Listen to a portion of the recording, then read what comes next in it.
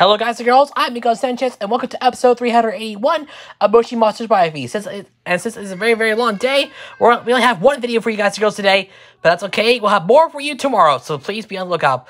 In the meantime, let's get right into today's episode. But first, we have a new subscriber to, to the channel. So yes, welcome to the channel, Bill. Oh my gosh, only one name. Only one word, Bill. You're the new subscriber to the channel. Thank you for subscribing. We're on our way to 900 subscribers, so thank you for subscribing to, to the channel, Bill. You totally, totally rock. And unfortunately, at the time of this recording, Bill only has three subscribers. He joined YouTube in 2011. That's nearly, uh, that's 10 years ago. 10 years ago, a full decade. And Bill only had two videos up. But don't worry, you can change that for the good. So thank you for subscribing, Bill. Uh, you want to go check out channel? Then the link will be in the description below. So please go subscribe to him. The link will be down below in the description. So please go subscribe to his channel. If it, uh, uh, besides, uh, if I try putting it on the top, on the top right corner screen, right up, uh, right up there, right there the, on the upper right corner, you can see that there are so many bills, but I, that I couldn't find one. So I'm gonna leave Bill's YouTube channel page in the description below. So please go subscribe to that. Anyway, thank you for subscribing, Bill. You are the best. We really love you. Now back to the video. Today we got another character. We got another major character to take a look at here on the show. Another big time shopkeeper and one of the most iconic characters in the Moshi Monsters franchise we're going to be taking a look at today. Working at the grocery store on Main Street. So be prepared for it. It's going to be a whole lot of fun. Are you ready? Then let's get started. Here we go. So yes, welcome to episode 381. Today it's about Snozzle Wobbleson. Oh my gosh. One of my all-time favorite characters in the Moshi Monsters franchise. And we're about to change that today. Besides, he also he already he also appeared in a diary. Uh, he he appeared. Uh, besides, Snozzle also appeared in Moshi Sleep with Happiness through a video uh, through uh, through an entry in Buster's Daily Diary season two. So, so you haven't listened to it yet, it's on the Moshi Sleep Off his app listed right now. But today, it's all about Snozzle Wobbleson. So please go check it. Uh, so please get ready. It's about to be wild. And you haven't seen previous episode, go check it out. Episode 380 was about his was about his John Wood counterpart, Zazani Wobblesing. So please check that out. I'll, I'll put a link up there on the top right corner of the screen. You can check out the video and watch it however want and whenever you want. But right now, everybody, let's cut to a start. Are you ready for it? For today, then you better be, because here we go. You're right. Then let's get started. So, who is Snozzle Wobbleson? Snozzle Wobbleson is the owner of the grocery store on Main Street. He appeared in Candy Catastrophe, where uh, where he showed the, the Super Moshis the back food storage of his store and the Candy Cane Caves. Mm. Yeah, that's gonna be a whole lot of fun. Look at the stats. Name is Snozzle Wobbleson, occupation shopkeeper of the grocery store, debut of the Daily Growl, and Candy Catastrophe. Relationships include Auntie Wobbleson, who's the aunt. Ooh. Now that's pretty good. Uh, he was already, uh, she was already discussed on episode 10, so please check that out. Stars Sonny Wobbleson, who is a relative, uh, who, who is the, distant relative, not already discussed in the previous episode, episode 3, episode 380, so once again, again, go check that out if you haven't seen yet. Uh, Wobbleson, who, uh, who is a relative, that I'll talk about in future episodes, so keep out, keep your eyes peeled for that. Blue Cheapers, who is the colleague, that I already talked about on episode, on episode 36. And finally, we are, and then we have Bo Puka, who is the colleague, again, on episode uh, on episode 300, on episode 261, so please check that out if you haven't seen yet. And finally, Boggle, who's a cousin, noted as the only relative he still, he still sees. So yeah, now you know. Um, actually, uh, I was wrong. Uh, Mo Puka, he was actually on episode 262. Episode 261, however, belongs to Mrs. Snoots. So, sorry for the error, ladies and gentlemen. But, yes, but Mo Puka was on episode 262. Blue Cheapers was on episode 36. So Sazali Wobblesing was on episode, was on episode, uh, you know, 380, and Auntie Wobbleson was on episode 10. Check out all these episodes you haven't seen yet. As for Wobbleson, I'll talk about in future episodes, so keep your eyes peeled for that. Alright, now let's get to the, to the, to the uh, biographies. Let's talk about the character encyclopedia. Main. Snozzle Wobbleson started out his career as a stock monster at the grocery store, but everything he picked up slipped through his wobbly grip and made a splattastic mess everywhere. Luckily, Snozzle was soon given the more simple job of, the, of cashier, which he loves, except when he has to handle Jelly, that is. Wobbleson Creations.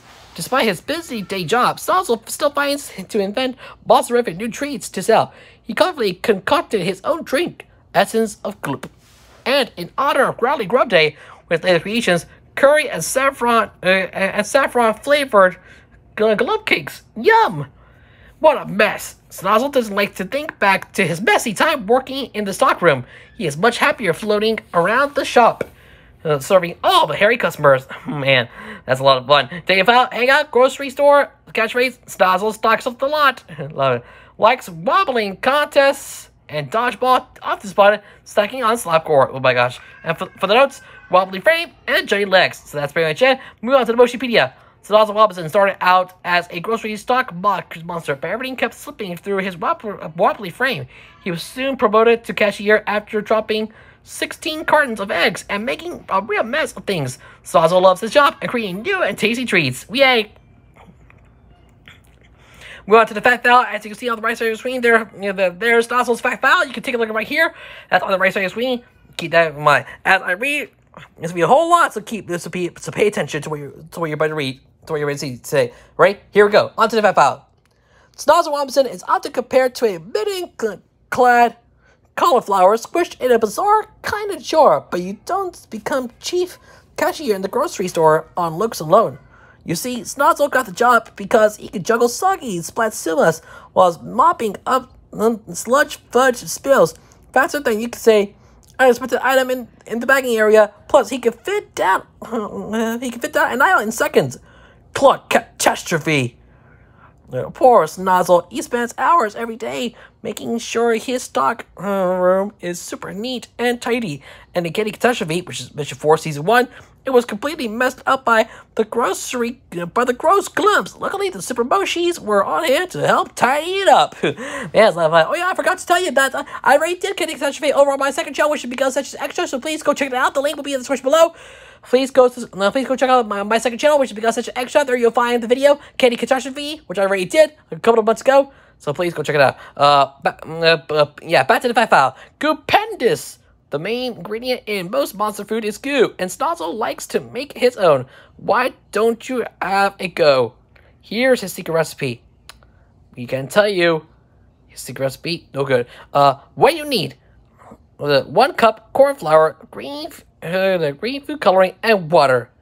So, uh, what to do? Put the corn flour and the food coloring into a bowl. Add a small amount of water and mix it all together with your hands uh, accompanying Elder Furi's speech. Snozzle's goo is very special. It will seem solid until you try to pick it up. Why don't you try hitting it like a drum or rolling it into a ball? Remember, only monsters can, can eat goo. Oh my gosh. Whoa. Uh, Elder I, I already talked about him here on Moshi Monsters Biography, and he was on episode 113, so please check that out. Definitely give that a watch. Moving on, family ties. Snozzle comes from a long line of Wobblesons, but aside from his uh, auntie, who's a Ducky homie next on a festival, the only relative Snozzle ever sees is his cousin Boggle, a cutter pup attendant who lives near Whoopin' Holler Valley. I really love it. Uh, like stacking shelves and store just uses, just like self-service till, uh, uh, tills and store, uh, just like self-service tills and fingerless gloves. And other hands on head, short of because Snozzle's mitts are placed just above his eyes, so reaching for box for boxes of shredded feet is easy. yes, I know, and you, and and, and I mentioned Whipple Valley besides. That's uh, that's the setting for a sleep story that I reacted to, Bonnie's Wild West Quest. That's over on episode 20. And that I reacted to episode 29 of my other show, Moshi Sleep Story Reactions. So please check that out if you haven't seen yet. This is the third worth of raid. Give that a watch. So check it out. Uh, moving on to the design. Snozzle is a jellyfish squid like is a jellyfish slash squid like creature with his body visible through his green translucent head, making him look like broccoli. He has four yellow and orange striped tentacles and two antlers. He has bright red eyes and a big smile with a light yellow blush. Huh? Yay, Snozzle! Uh, let's go to the timeline. The date, then the event, then the area, then the time, then the date. Start with the date, then the then the area, and then and then the event. So here we go. January 15th, 2008, invaded for the Daily Growl. First mention of the grocery store in the Daily Growl. Therein, Miss Pinky talks about how she'll buy anything cheap so she can save up her rocks for stock at Yukea and Bizarre Bazaar. Oh, yes. Uh, uh, so, yes, uh, uh Yukea is run by Mo, uh, Moyuki. That already talked about on episode 262. And Bushi Fandango runs the Bizarre Bazaar. That I already talked about on episode, uh, that I already talked about on episode 52. So please check out these two episodes you haven't seen yet. Again, the Again, Yukea is run by Mo Yuki. I already talked about episode 263. And the Bizarre Bazaar is run by Bushi Fandango. That I already talked about on episode 52. So please check out these two episodes you haven't seen yet. Moving on, April 16, 2008, Grocery Store. Bushi Monster starts with the grocery store starting shop for forthwith. April 24th, 2008, The Daily Growl talks about a grocery store pushes strategy of sticking toward items that are that are most efficient in terms of price and happiness and health. I love it. November 29th, I mean November 19th, 2010, Series 1 matchup card. Series 1 matchup has a card. Uh, the 26th of May, or should I say, or should I say May 26th, 2011, Season 1, Mission 4, Candy Catastrophe. I already did over on my second show because it's so please check it out uh, plays a secondary role after the sweets he sold, Barf Scummy Bears, and Lollipops uh, made everyone sick and were associated with criminal activities. Supamoshi is supposed to help him by cleaning out his shelves. He then guides them to the Candy Cane Caves and back to his store if needed. He readily offers advice on glumps and morph stones and encourages to ask again if help is needed. Love it. Uh, September 7, 2011, Series 2 matchup. As a card, November 17, 2011, Mega Bloks. Mm-hmm. Mega Bloks grocery store has an exclusive figurine. Alright, the next three events come from the Daily Growl. So, so get ready, guys. February 20th, 2012, the Daily Growl. In preparation for Growly Grub Day, Snozzle ordered uh, to the extent that he asked Rory if he could write on his newspaper. He asked the citizens of Monstro City to send him a commercial with no longer than 30 seconds to long, 30 seconds long to advertise his store, thereby re- re- reaccumulating the money he overspent. January 14, 2013, also did a growl. Talks about Snozzle's new soldware, Bongo Colada. Snozzle is mentioned burping upon Rory's interviewing. Oh my gosh, a brand new wear. Love it. A new software. Uh, March 5th, 2013, also for the Daily Growl, talks about talks about the more crude looking items sold at Snozzle's store. Also tells us that slop is the most popular item. Love it. September Alright, September 26, 2014, Five File has its own Five File. May 19, 2014, Moshi Monsters Village, the Quest character, and June 27, 2016, The Daily Extreme Close-Up Puzzle.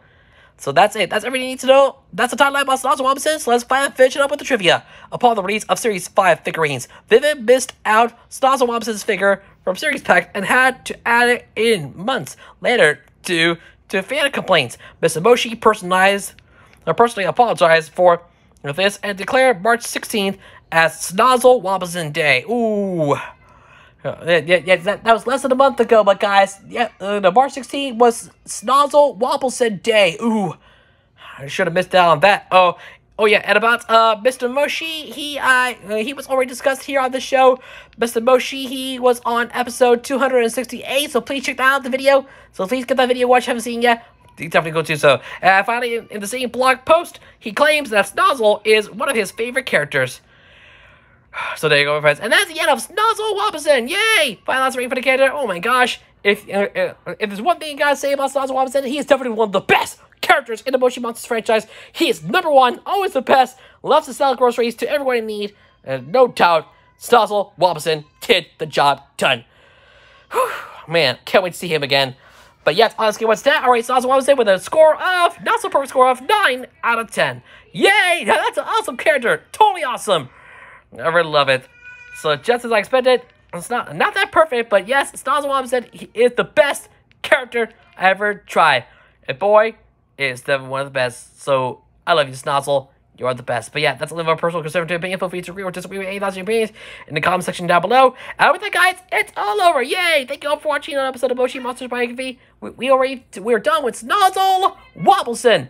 Thank you so much for tuning in today. Please leave a like on the video, share with your friends, leave a comment down below. Don't forget to subscribe with, with notifications turned on to miss another new video from me because we've got new we got, we got new content coming away very, very soon. And don't forget about Logo History 2, episode 23, coming out, coming to the channel very, very soon. It'll be about Del Sunoco. Oh my gosh. Hanna-Barbera, Pluto TV, Mountain Dew. Yeah, Mountain Dew, that'll, that'll be there. Uh, Acer. WLIW. And I don't know, know what the what, the last one is. You know, but and I don't know what the last one is, but you, you, you'll soon find out. So yeah, thank you for watching, everybody. everybody. And uh, we'll see you tomorrow for. And we have Moshi Monster movie, The Great Monster Egg, coming your way tomorrow. Chapter 20 is going to be about uh, Snow Choke, so don't miss out. But yes, everybody must come to an end. Thank you so much for watching today. I am Miguel Sanchez. You're yourself, and I will see you tomorrow on Moshi Monsters Biography. I can't believe it, guys. The next episode is, is going to be a big one. Episode 3, another big one. Episode 382 is going to be a Snuffy Hookums, so don't miss out, my friends. You do not want to miss the next exciting episode of the series, as I'm going to be taking you on a wild ride, my friends.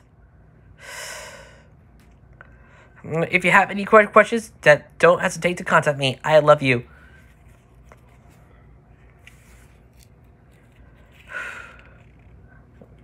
So be on the lookout for that. In the meantime, thanks for watching.